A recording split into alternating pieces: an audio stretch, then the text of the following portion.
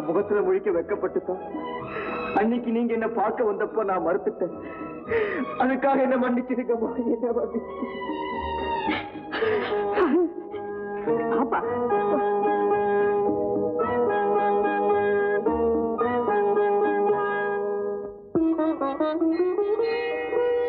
Driver வண்டியை நிறுத்து.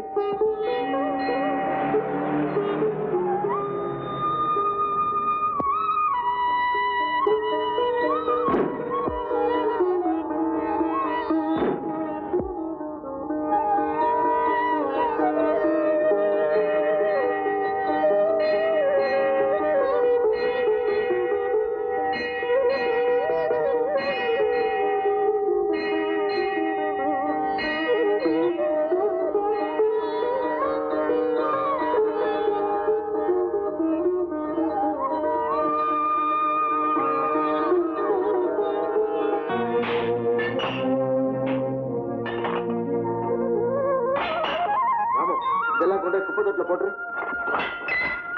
நீங்களா அப்படி சொல்றீங்க?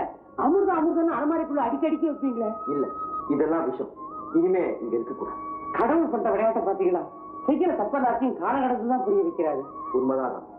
இப்பதான் எனக்கு புரியும் சரிங்க உங்க சாப்பாட்டுக்கு கோழிக்கறி மீன் வறுவல் எல்லாத்துக்கும் ஏற்பாடு பண்றேன். வேண்டாம்.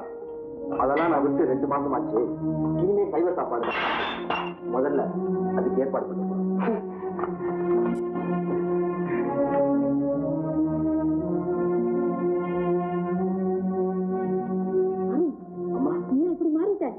நான் மாறலம்மா.